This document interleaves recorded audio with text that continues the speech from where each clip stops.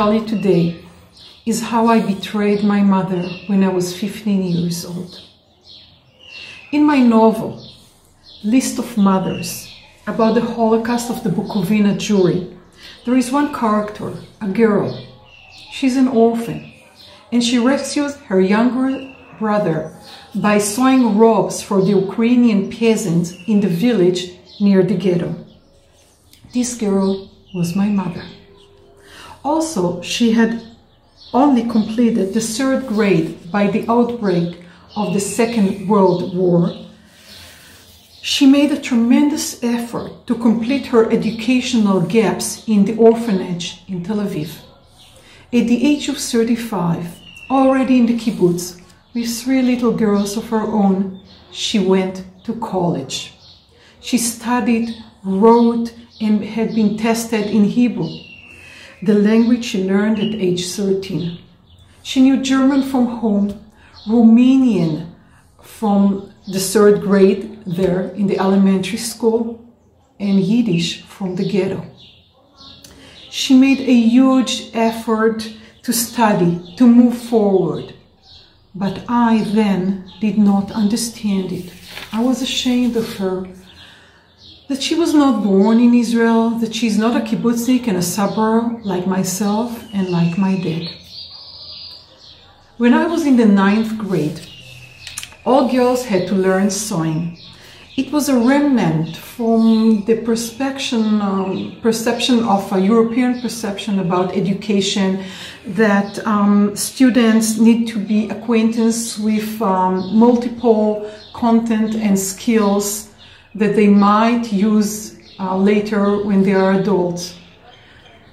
Um, that's the way it was, and so all girls were sent to sewing class. With two left hands, I managed to thread the yarn into the machine needle while my classmates were already stitched a whole straight streak. When I finally pulled out a straight line of stitches, they were already sewing buttons. Our teacher, Devora, she paired her instruction with a constant strike and knocking of her metal ruler on her desk, and I was positive that she would not hesitate to struck my hands or back if needed. When we arrived at the final test, a toilet paper roll handler was lost. The steam tangled, the streak zigzagged, the cloth had been stained with tears of frustration.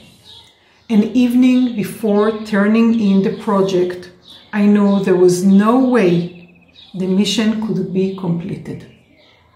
At this point, my mother stepped in. She was a home economics teacher in my school, at our high school. She took the fabric, set it at her sewing machine, and within 20 minutes, the mission was complete. A wonderful toilet paper roll holder. She saved me. The next day at school, the teacher gave one look at the straight streaks, at the perfect stitches, she knew, but she asked me, Who stitched it? And I gave my mother away. The teacher didn't hesitate for a minute. She rushed into teacher's room and she started shouting at my mother, Shame on you! A teacher in Israel is a poor cheat. Shame on you! You should be fired. My mom got a warning letter from the principal for it. Well, I guess I would have forgotten the whole incident if my mother had not come from such a practical culture, the culture of the Bukovina Jewry. Well, did we buy the fabric? Of course we did. We bought and paid. Also green sewing threads. Did we spend time on it? Yes, we invested, we invested time and effort. So can we toss it away now? No way.